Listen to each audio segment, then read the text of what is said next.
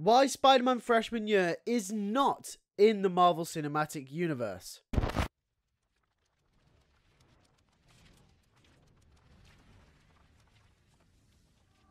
Yo, what is going on you guys? Welcome back to a brand new video, and in today's video, we're going to be talking about why Spider-Man Freshman Year is not in the MCU. But if you are new around here and enjoy all types of Spider-Man content, then make sure to hit that subscribe button, and make sure to hit the bell so you do not miss another video. After the Comic-Con and all the Freshman Year news, we are going to be posting many videos regarding that topic. Also, if you want awesome No Way Home t-shirts and the Blu-rays, I'll leave links in the description where you can go pick them up for yourselves. But with that being said, let's get straight into the video. So today we're going to be looking at the theories that that suggest why it's not in the MCU, but I'm also going to be giving you guys a possible alternative that could basically be a fine line between whether it's in the MCU or it's not in the MCU. So the first option that I'm going to give you is a possibility, but I don't think it's the most likely option, and that's that it's just completely disconnected from the MCU and just contains references to the Marvel Cinematic Universe in the same way that Spectacular Spider-Man was a separate show from the Raimi universe, however it contained many references to the Raimi movies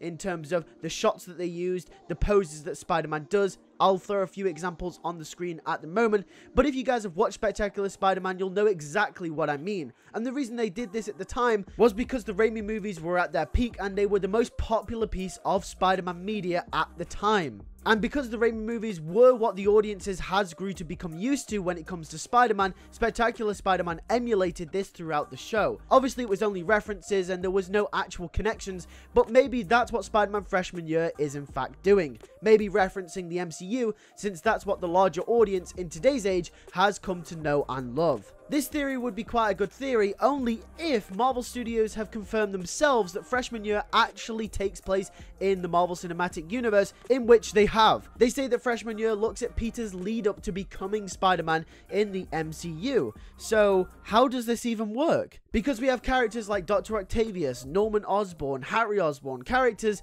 that would just undercut the rest of the MCU, especially Spider-Man No Way Home. You'd think that Peter would at least address that he's met a Norman Osborn or met a Dr. Octavius before in the past. And as we know in the MCU, as Norman references in No Way Home, Norman Osborn does not exist, neither does Oscorp, neither does Harry Osborn. All three which do exist in Spider-Man Freshman Year, which Marvel Studios is saying takes place in the Marvel Cinematic Universe. Not to mention something else that is also really confusing is that Marvel Studios has confirmed a second season of Spider-Man Freshman Year titled Spider-Man Sophomore Year, which will follow Peter in his sophomore year of high school.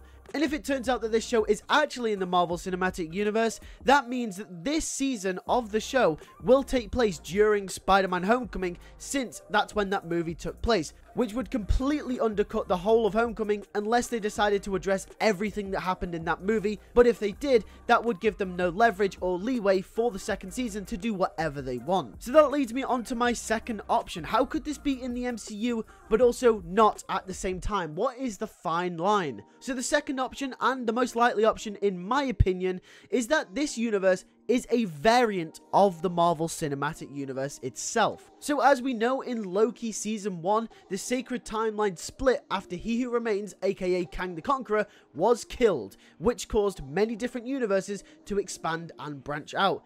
And this split in the timeline is actually how we got to What If, and that's how all these other different possibilities are possible. In which one of these timeline splits probably was the freshman year universe, which is an alternate timeline of the Marvel Cinematic Universe where Tony Stark is replaced by Norman Osborn, and Peter Parker will go up against some of his classic foes from the comic books. However, it still has hints of the MCU in there.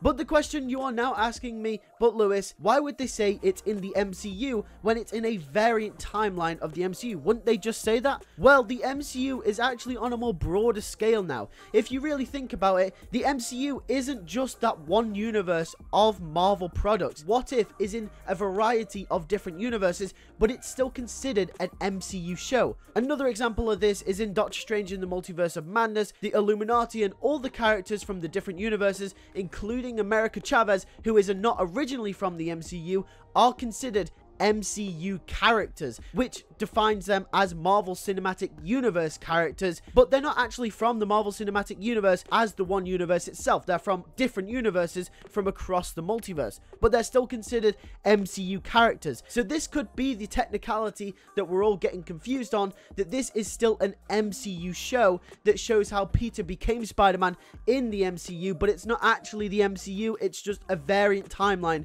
of the MCU. And I think this is probably what it is because they're saying it's in the MCU, but obviously it's not in the MCU and it's definitely not canon before Civil War because of the characters that show up and the things that it completely undercuts from the rest of the movies. And as we do know, the main timeline or the MCU movie timeline as I like to call it because that's where most of the stuff happens is where they make most of their money and where most of the focus is going to be. So if they're going to break continuity anywhere, it's not going to be in the main timeline of movies, which is why I'm really, really confused about this, and all of you guys are as well. But the second option of this being an MCU variant timeline is probably the most likely thing to happen, only because I think they're saying it's in the MCU, but also it's quite clearly not as we've just discussed. So basically, this is just like a whole show dedicated to one what if scenario, and that's what I think it'll be. And that's exactly what Marvel Zombies is as well, since that is a whole show based off that one what if episode. So that's exactly what I think this is,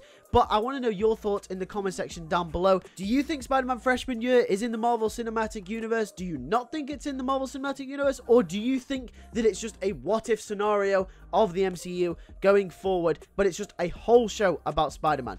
I want to know all of your thoughts in the comment section down below. Thanks for watching this video. Make sure to leave a like on it if you did enjoy and also if I give you sort of an idea of what to expect. Make sure to subscribe for more freshman year videos to come in the near future and also make sure to hit the bell so you do not miss another bit of Spider-Man content because we post everything Spider-Man on the channel. Also, like I said at the start of the video, if you are interested in some awesome No Way Home t-shirts and the Blu-rays, then make sure to click the link in the description down below and you can get yours today. With that being said, thank you guys for watching. I'll see you guys in the next video. Take care and peace.